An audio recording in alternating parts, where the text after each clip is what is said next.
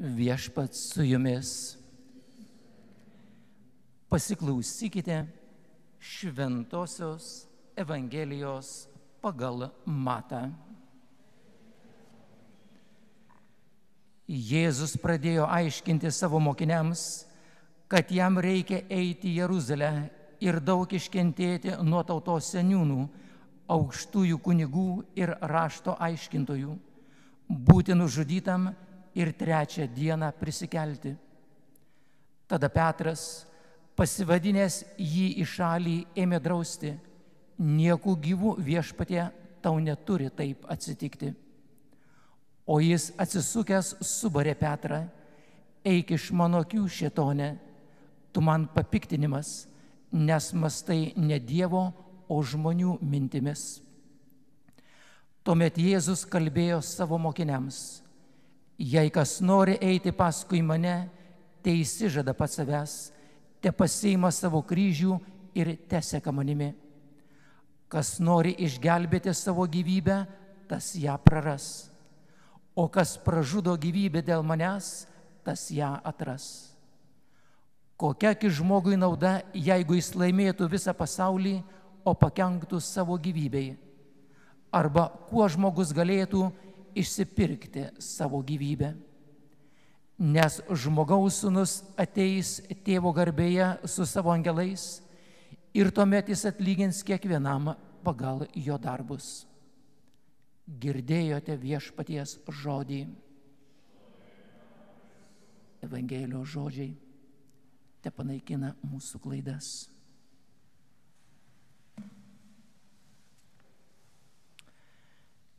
Šios dienos Evangelijos skaitinys yra tesinys to, ką girdėjome praeitą sekmadienį. Prisimenate Petro didžiojo išpažinimo istorija.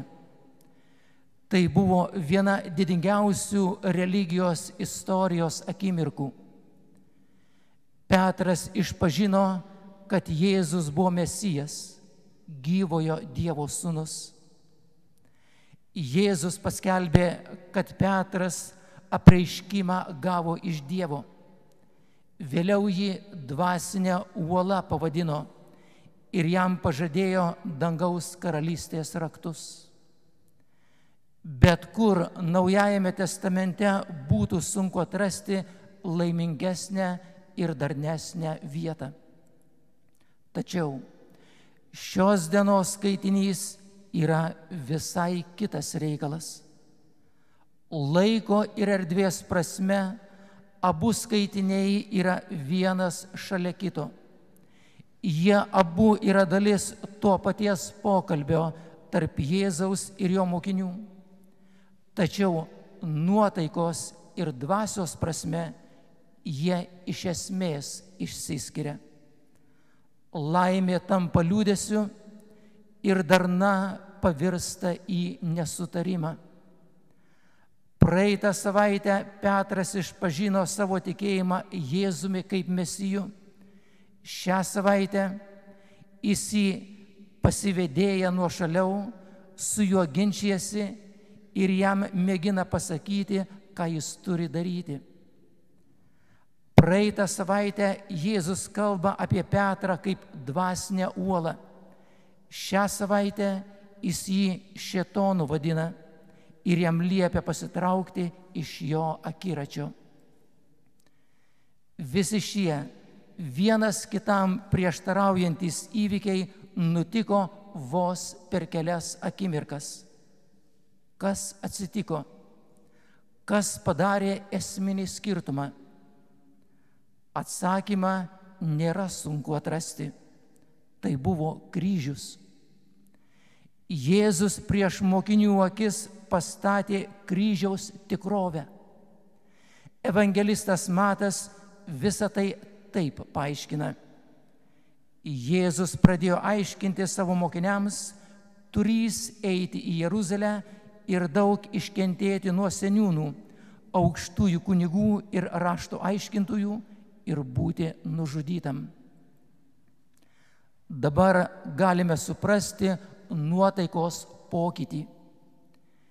Krikščioniškajame tikėjime kryžius yra labiausiai nerima keliantis veiksnys. Anie pirmieji mokiniai apie jį nenorėjo galvoti, taip kaip ir mes nenorime. Priežastys, kodėl taip yra, yra ganėtinai aiškios. Iš vienos pusės jis mums primena nuodėmės rimtumą. Jeigu kryžius kartu yra žmogaus moralinės dilemos pasiekmė ir vienintelis sprendimas, tuomet mes esame daug didesnėme sunkume, negu bet kas iš mūsų apie tai galėtų pagalvoti. Blogiausias dalykas, kuris apie šį pasaulį galėtų būti pasakytas, yra tas, jog jis yra ta vieta, kuri yra apgyvendinta tokiais žmonėmis, kurie paėmė ir ant kryžiaus prismeigė žmogaus sūnų. Tai ir yra, kas iš tikro nutiko. Žmogaus nuodėmingumas yra rimtas dalykas. Jis giliai nusileidžia ir toli siekia. Ant pasaulio tvyranti kančia yra beveik neįsivaizduojama. Tai yra esminio gydimo besišaukiantis dvasinis vėžys. Savo garbingiausio ir nuoširdžiausio mąstymo akimirkomis mes visą tai suvokiame. Tačiau bevelyjame, jog tai mums nebūtų primenama. Atsistoti moralinio nuopolio akivaizdoje yra skausminga patirtis, kurios daugelis iš mūsų stengiamės išvengti. Tačiau kiekvieną kartą matant kryžių ir apie jį skaitant, mums yra primenamas nuodėmės rimtumas. Kita priežastis, dėl kurios nenorime kryžiaus akivaizdoje atsistoti, yra ta, kadangi ji mums kalba apie pasiaukojančią meilę. Dabar gal tai skamba kaip prieštara. Akivaizdu, jog daugelis mūsų nenorime aukotis Tačiau be abejo neprieštarautume, jeigu kas nors kitas ryštusi vietoj mūsų tai atlikti. Iš kažkur prisimenu pasakojimą apie laukinėje gamtoje iškilavusi žmogų. Su savimi jis turėjo šunį. Jie kartu eidavo pasivaikščioti ir apžiūrinėdavo vietovę, kurioje buvo įsikūrę. Vieno tokio pasivaikščiojimo metu žmogus buvo meškos užpultas. Jo šuo, kuris buvo netoliese, matė, kas nutiko ir nieko nelaukęs puolė į kovą. Suprantama, jog jis negalėjo meškai prilygti. Du ar trys galingi meškos lėtenos kirčiai ir šuo buvo negyvas. Tačiau meškos dėmesio nukreipimas žmogui suteikė pakankamai laiko pasprūkti. Žvelgdamas atgal į tai, kas nutiko, jis pasakė, yra skausminga už ką nors numirti, netgi šuniui. Taigi, daugelis mūsų bevelyjame, kad mums nebūtų priminta auka, kuri už mus buvo paukota. Ypatingai mes tokią nuostatą turime aukščiausios aukos atžvilgių - Jėzaus ant kryžiaus. Jeigu tiesa apie tai, ką jis mums padarė, užvaldys mūsų širdis, ji mus įgalins prisimti kai kuriuos įsipareigojimus, kurių šiaip neketintume atlikti. Manau, jog mes tai instinktyviai žinome tačiau didžiąją laiko dalį žiūrime kitą linkmę, nenorėdami, kad mums būtų priminta vietoj mūsų atlikta auka. Galiausiai kryžius mus pasitinka su didelio nuotykio iššūkiu. Prieš kalbant apie savo paties mirtį, Jėzus kiekvieną savo mokinį kvietė imti kryžių ir jį sekti. Jis mums siunčia tą patį kvietimą.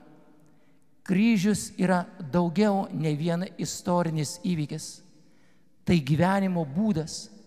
Ir jis meta iššūkį ragindamas jūs ir mane tokiu būdu gyventi.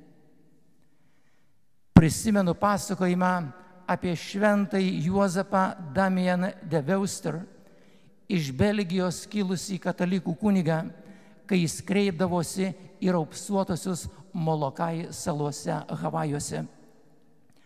Dažnai jis vartodavo įsireiškimą, jūs, kurie esate raupsuotieji.